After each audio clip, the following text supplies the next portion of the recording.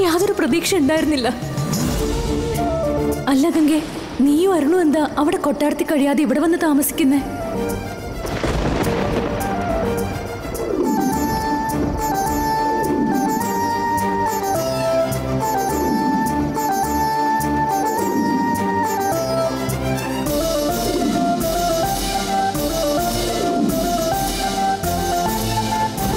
നന്ദിനിയാ?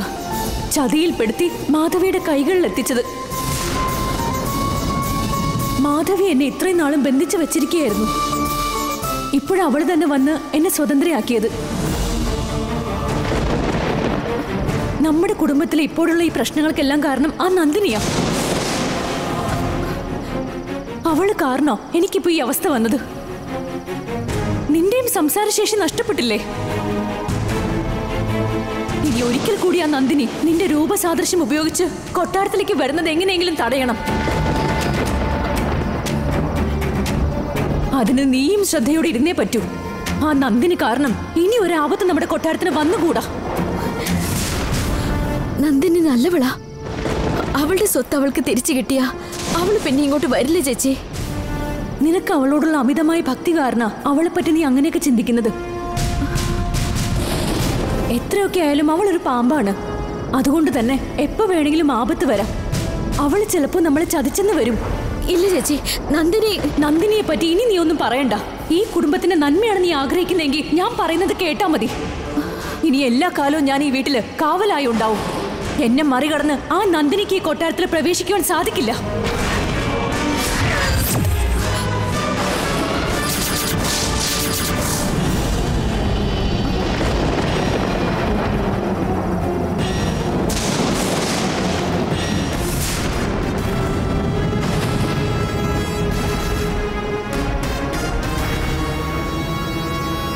എന്താ ഗംഗെ?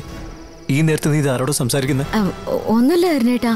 എത്രയും വേഗം മാധവി ഈ കൊട്ടാരത്തിൽ നിന്ന് പോണമെന്ന് ഞാൻ നാഗമ്മയോട് പ്രാർത്ഥിക്കുകയായിരുന്നു. ഈ രാത്രി നേരത്താണോ പ്രാർത്ഥിക്കുന്നത് എന്താ ഗംഗെ? ശരി വന്ന് കിടക്ക്. വാ.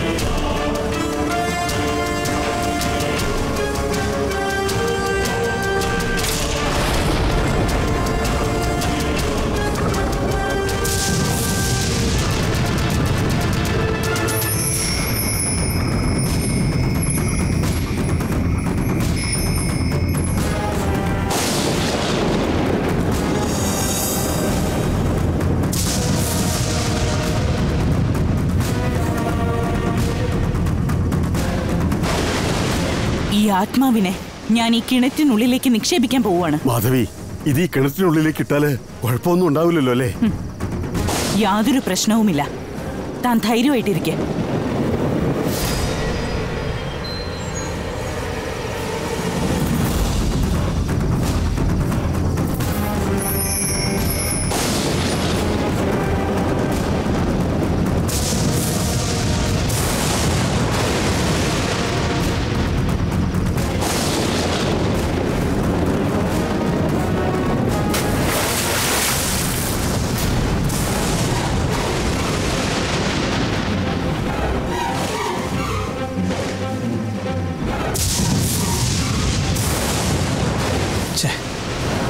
വേറെ ഒരു പണിയില്ലേ?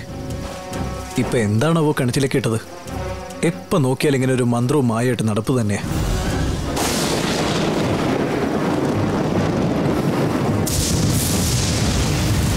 മാധവി അത് അതിനകത്ത് കിട്ടു കഴിഞ്ഞല്ലോ. വാ പോകാം. മഴ പെയ്യുന്ന കണ്ടില്ലേ? വാ മാധവി പോകാം. മഴ ഭയങ്കരമായിട്ട് പെയ്യുന്ന കണ്ടില്ലേ? എന്തിനാ നിൽക്കുന്നത് വാ. വേറെ. നനയുന്നത് എന്തിനാ? നിക്ക്. ഇനിയും പലതും ചെയ്യാനുണ്ട്.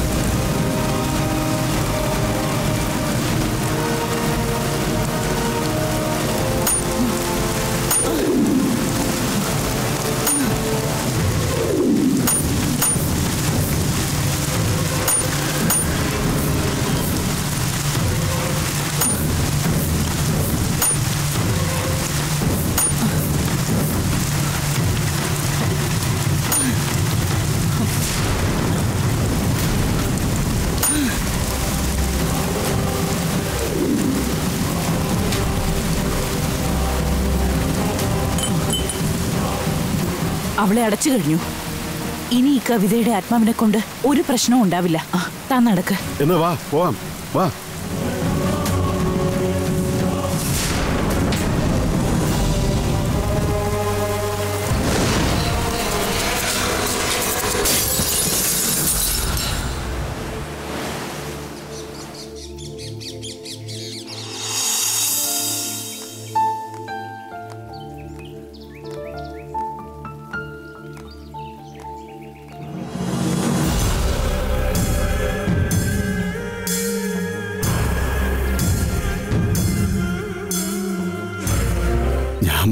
പറഞ്ഞതൊക്കെ സന്ധ്യ വിശ്വസിച്ച് കാണുമോ? അതോ എന്നോട് പ്രതികാരം ചെയ്യാൻ വേണ്ടി വെറുതെ അഭിനയിക്കുന്നതാണോ? ഇവൾ കൊട്ടാരത്തിലേക്ക് തിരിച്ചു വന്നതിൽ എന്തോ പന്തികേട് കാണുന്നുണ്ട്. കണ്ടുപിടിക്കാം.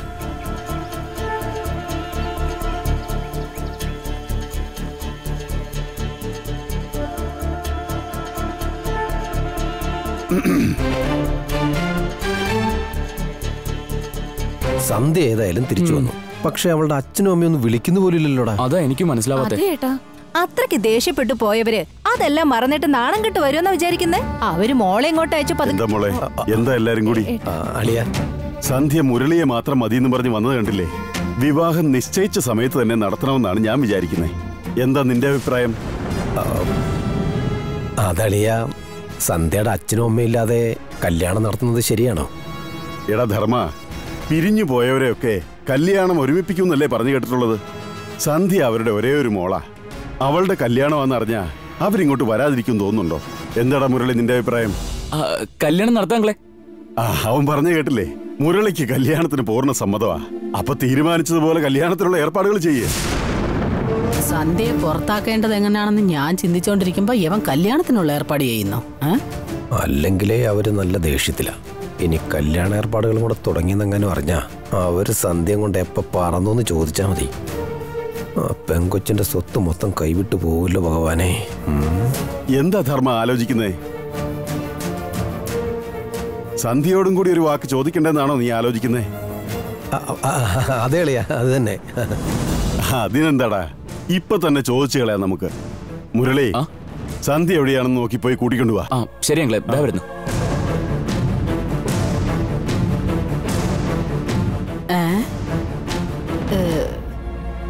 കിളവി എന്താ നിന്ന് ഞെരിവിരി കൊള്ളുന്നത് സന്ധ്യയുടെ തീരുമാനത്തിൽ നിന്ന് അറിയാം അവൾക്ക് മാറ്റമുണ്ടോ ഇല്ലയോ എന്ന്. ഇതെങ്ങോട്ട് നീ എന്നെ കൂട്ടിക്കൊണ്ടു പോകുന്നേ? നീ വാ ഞാൻ പറയാം. നിനക്കൊരു സർപ്രൈസ് ഒരുക്കി വെച്ചിട്ടുണ്ട്. സർപ്രൈസോ? എന്താ അത്?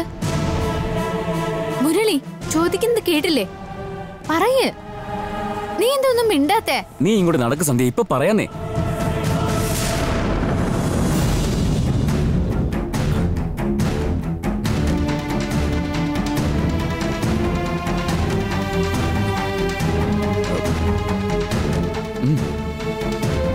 വാ മോളെ.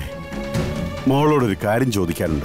നമ്മൾ നിശ്ചയിച്ച സമയത്ത് തന്നെ കല്യാണം നടത്തിയാലോ എന്നാ ഞാൻ ആലോചിക്കുന്നത്. മോൾക്ക് സമ്മതക്കുറവൊന്നുമില്ലല്ലോ.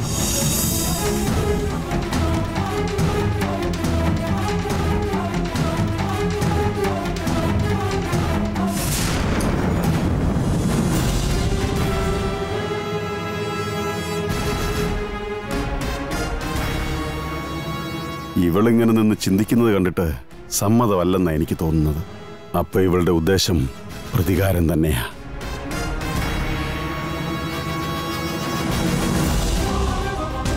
എനിക്ക് സമ്മതം തന്നെ അങ്കിൾ.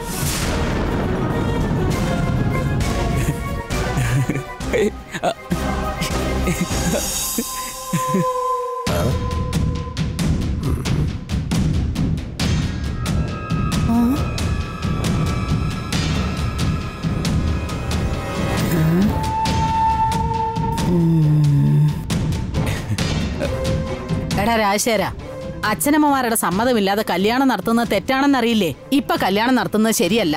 അത് മാറ്റി വെക്കണം. ആ, പറഞ്ഞത് ശരിയാ. ഇങ്ങനെ എടുപിടി നടത്തേണ്ട കാര്യമൊന്നുമില്ലല്ലോ കല്യാണം. അവളുടെ അച്ഛന്റെ അമ്മയുടെ സമ്മതത്തോടു കൂടി തന്നെ കല്യാണം നടത്താളിയാ. അതെ ഏട്ടാ അങ്ങനെ ചെയ്യുന്നതാകും നല്ലതെന്ന് തോന്നുന്നേ. എന്നാ ശരി നിങ്ങളുടെ അഭിപ്രായം അതാണെങ്കിൽ ഇനി അവളുടെ അമ്മയോടും അച്ഛനോടും സംസാരിച്ചതിന് ശേഷം കല്യാണം നടത്താം. സന്ധ്യയോട് പറഞ്ഞ് അവളുടെ അച്ഛനെ അമ്മയെ എങ്ങനെ സമ്മതിപ്പിക്കണം? ആ അങ്ങനെ ആയിക്കോട്ടെ അളിയാ. കല്യാണം ഉടനെ തന്നെ നടക്കൂലെന്ന് കരുതി ഞാൻ എന്തുമാത്രം സന്തോഷിച്ചതാ? ഛേ. സന്ധ്യ. അയ്യോ അങ്ങനെ കല്യാണം കുറച്ച് ദിവസത്തേക്ക് മാറ്റി വെച്ചു. ഇനി ഈ സംസാരം തുടങ്ങുന്നതിന് മുമ്പ് അവളെ എങ്ങനെങ്കിലും പുറത്താക്കിയേ പറ്റും. ഹാ, ഉം.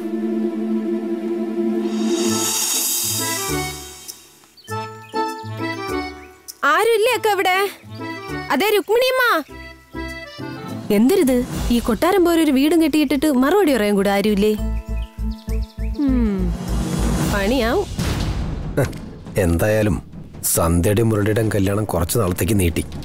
കൂടുതൽ വെച്ച് താമസിപ്പിക്കാതെ അവളുടെ അച്ഛനോടും അമ്മയോടും സംസാരിച്ച് കാര്യങ്ങൾ ശരിയാക്കണം. ഏട്ടൻ അവരോട് സംസാരിച്ചു നോക്കാന്ന് പറഞ്ഞിരിക്കല്ലേ? അളിയൻ സംസാരിക്കാനുള്ളത് സംസാരിച്ചോട്ടെ. പയ്യന്റെ അച്ഛനെന്ന നിലയ്ക്ക് ഇരിക്കും പറയാലോ. നടക്കാത്ത കല്യാണത്തിനായി ഇത്രയും ചർച്ച.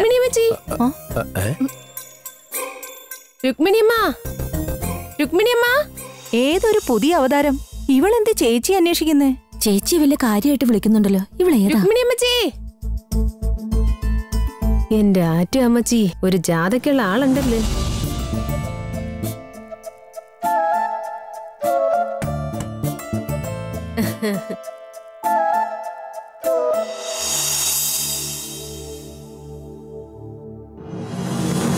ഇതെന്തിനത്? ആദ്യമായിട്ട് മനുഷ്യനെ കാണുമല്ലോ ഇങ്ങനെ മുഴിച്ചു നോക്കണത് എന്തിനാണ്? എന്റെ പേര് മീനാശി ഞാൻ അങ്ങ് നെയ്യാറ്റിൻകരന്നാണ് വരണത്. കൊടൈക്കനാലിലുള്ള അമിതാക്ക് എന്നെ മൊബൈലിൽ വിളിച്ചിരുന്നു. ഇവിടെ കൊച്ചിയിൽ ഒരു കൊട്ടാരം ഉണ്ട് അവിടെ രുക്മിണി അമ്മ എന്നൊരു അമ്മച്ചിയെ നോക്കാൻ ആളെ വേണമെന്ന് പറഞ്ഞു. അതിനാണ് ഞാൻ ഇങ്ങോട്ട് വന്നത്. അമിതാക്കാണ് ഈ അഡ്രസ്സും മറ്റും പറഞ്ഞു തന്നത്. ആ അതിരിക്കട്ടെ. നിങ്ങളിൽ ആരാണ് രുക്മിണി അമ്മ? ഏ? അതും കൂടെ നീ തന്നെ കണ്ടുപിടിക്ക. ആ ഈ നിക്കണേണ് രുക്മിണി അമ്മ. ശരി എന്നല്ലേ? ആഹാ. അതെങ്ങനെ മനസ്സിലായി? ആ അമ്മച്ചി ഒച്ചയുണ്ടല്ലേ നല്ല കുയിലിന്റെ പോലെയാണെന്നാണ് അമുതാക്ക പറഞ്ഞത്. അത് വെച്ചാണ് ഞാൻ ഇപ്പൊ പറഞ്ഞത്. ഞാൻ ഈ പറഞ്ഞത് ശരി എന്നല്ലേ? ശരി തന്നെയാ. എന്തൊരു ഭാഗ്യം നോക്കണേ. അതെ ബഹുമാനമൊക്കെ മനസ്സിലിരുന്നാ മതി കേട്ടോ. അതിനു വേണ്ടിയല്ലമ്മ. താഴെ രണ്ടായിരം രൂപ ഒരു നോട്ട് കിടക്കണ്. അത് എടുക്കാൻ വേണ്ടിയാണ്. അത് ഇങ്ങോട്ടാ. ഈ തരാനല്ലേ പറഞ്ഞേ? അത് രണ്ടായിരം രൂപ നിരീച്ച് തന്നെയാണ് എടുത്തത്. പക്ഷേ അത് വെറും കളർ പേപ്പർ ആയിരുന്നു കേട്ടാ അമ്മച്ചി.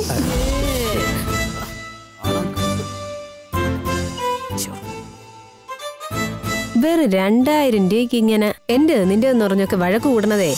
ഇത്രയും വലിയ വീട്ടിൽ നിന്നിട്ട് ഈ ചെറിയ പണത്തിന് വേണ്ടി കടന്ന് കടിപിടി കൂടണത് നാണക്കേടാണെന്ന് തോന്നണില്ലേ? നീ വാ നമുക്ക് പോവാം. എന്താ? നിന്റെ കല്യാണം ഉറപ്പിച്ചെന്നോ? എപ്പോ?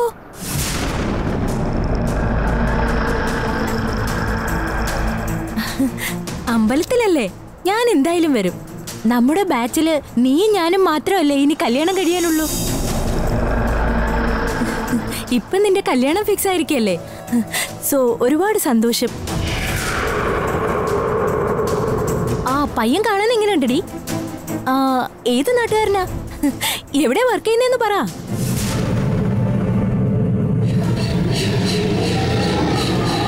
പിന്നല്ലാതെ ഞാൻ രണ്ടു ദിവസം മുമ്പേ അങ്ങെത്തും നിന്നെ കൈപിടിച്ചു കൊടുത്തിട്ട് വേണ്ടേ എനിക്കൊന്ന് ഫ്രീ ആവാൻ.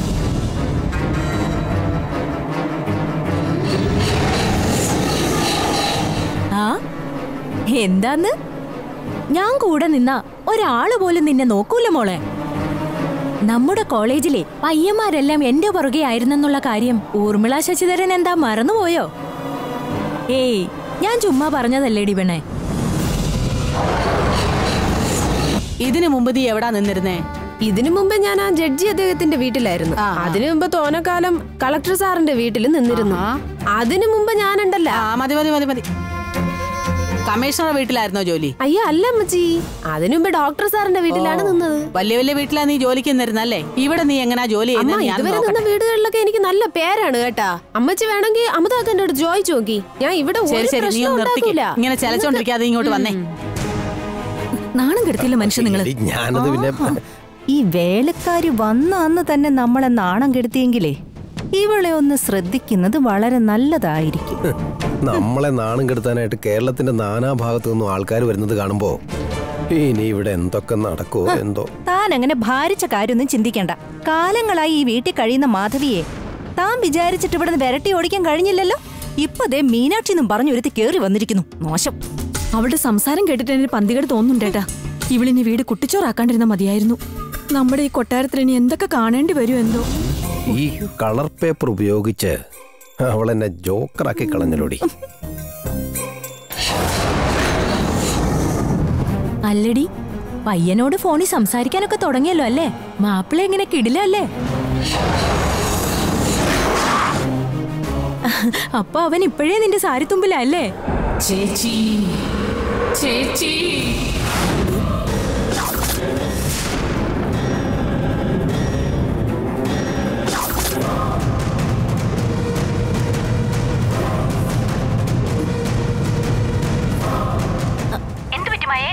ഒന്നുമില്ല.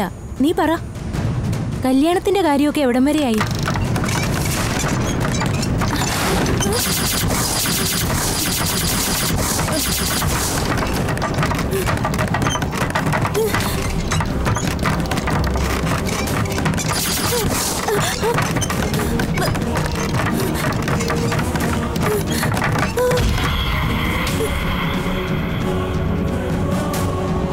ശരിയടി.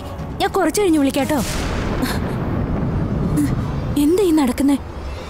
ആരാ ചേച്ചി ചേച്ചി എന്ന് വിളിച്ചോണ്ടിരുന്നേ? ഇവിടെ എന്തൊക്കെയാ നടക്കുന്നേന്നൊന്നും മനസ്സിലാവുന്നില്ല. എന്താ ഈ നടക്കുന്നേ?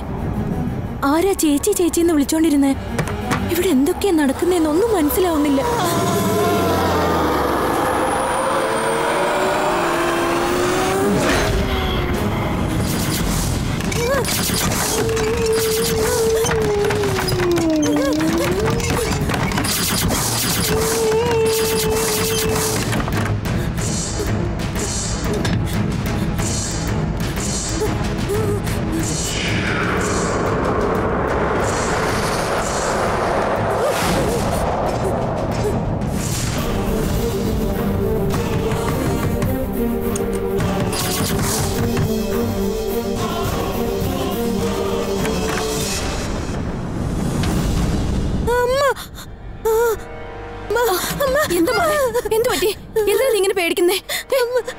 മായേ.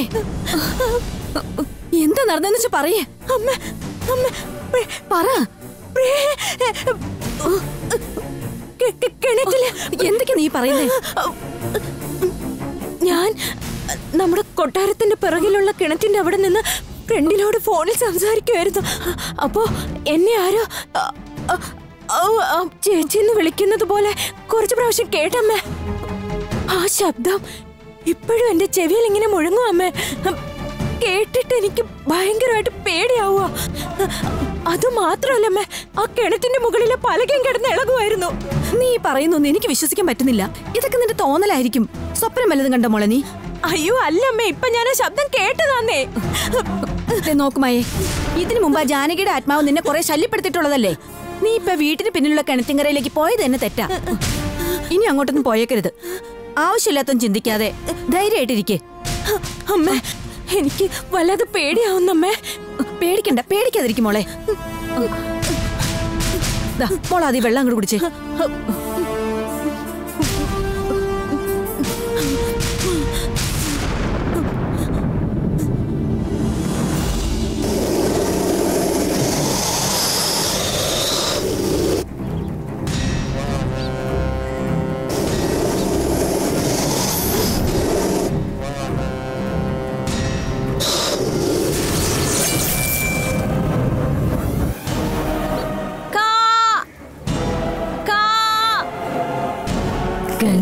ഹൗസിലാണല്ലേ ഉള്ളത്?